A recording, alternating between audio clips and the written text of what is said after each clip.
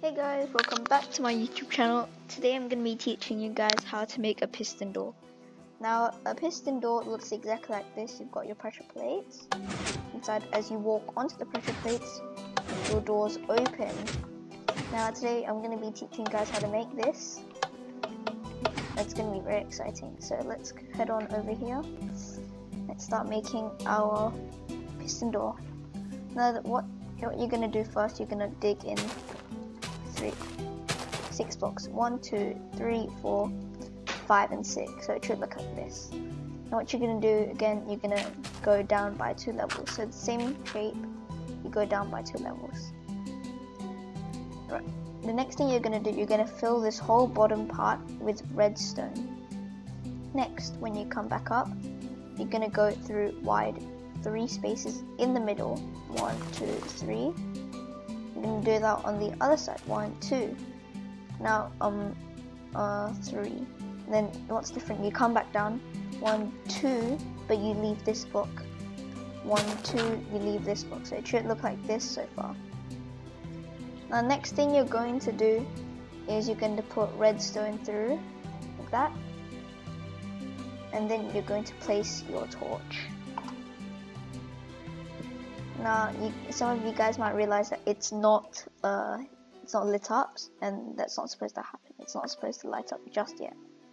Now you're gonna put a block of choice just above that. Just gonna put that above. You're going to put that just above. Now we're going to fill in this whole area just like that. Next thing you're going to do, you're going to get a sticky piston and put it there and it should come out just like that. And you're going to do that on the other side. It should come out like that once again.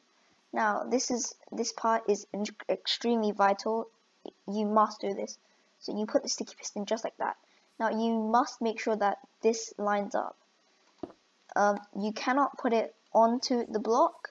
It's not supposed to happen because it doesn't line up you have to put it exactly on the grey part. And you're also going to do that on the other side. Just like that. Now with your redstone you're going to place one over there. As you can see it activates.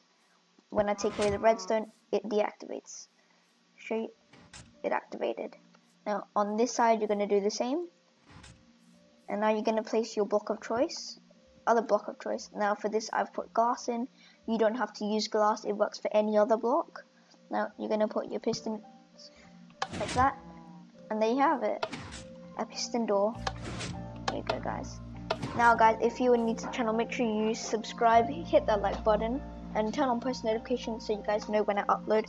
Also make sure to follow me on Instagram and I'll post that in the description down below.